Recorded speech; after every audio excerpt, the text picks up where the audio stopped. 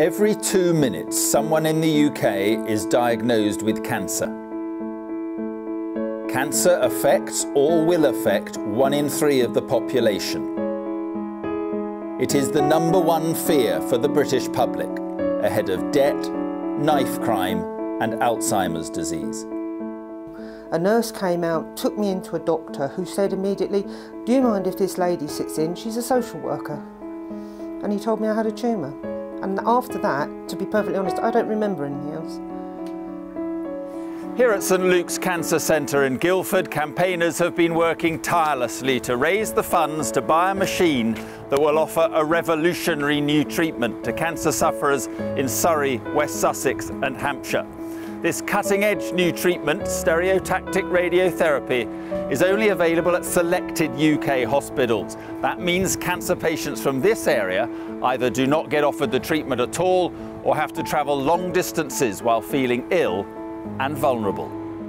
Five years ago, Sue was one of the first patients to receive stereotactic radiotherapy for a surgically inoperable brain tumour.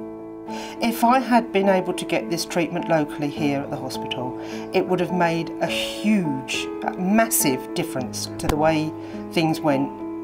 Andy Fenning was treated with image-guided radiotherapy for prostate cancer in 2008.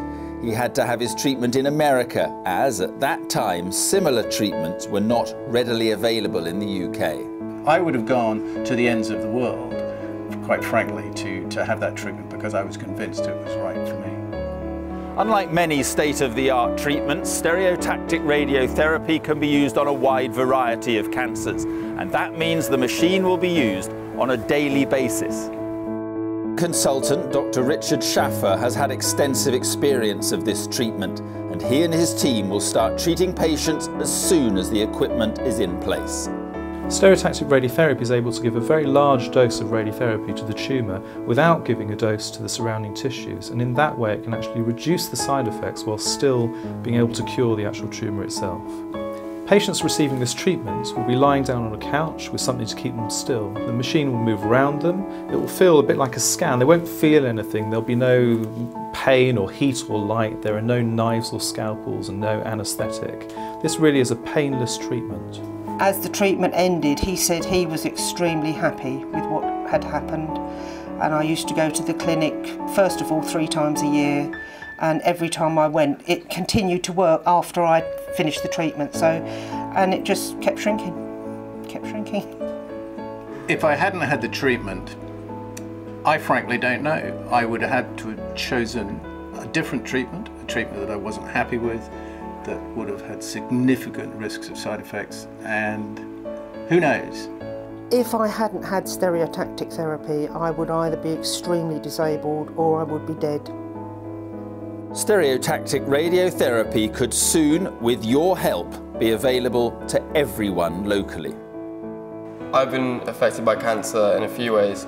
Last year, my grandma died because of bowel cancer and that really affected me and my family. And a few years before that, my other grandma was diagnosed with breast cancer. Luckily she survived, but my other grandma unfortunately died. I don't think there's anyone who would argue that fighting cancer any way that we can is of the utmost importance. Uh, the reality is cancer's out there, it strikes one in three of us, and it will affect our lives in some way or someone you know. We could have in Guildford this state-of-the-art technology which is going to save lives, is going to make cancer treatment a lot less invasive, a lot easier, it's going to improve the treatment for brain tumours, prostate cancer, all these things. And we thought, yes, we want to raise money for that. We're almost there. We now just need £150,000 to reach our target. And tonight, you can help us do it anybody watching this film, if you can donate some money to this unit, I don't think you can understand what it will mean to people with tumours. It's everything. If you could donate anything you could to make this course possible, it would be brilliant. We're really excited. We're getting so close. Please, please, please help us get there. Have another drink and put your hand up and give them lots of money. Thanks. Thank you for coming. Thank you for being here. We hope you're all having an amazing evening. Um, and let's go with the auction. And I looked up, sorry.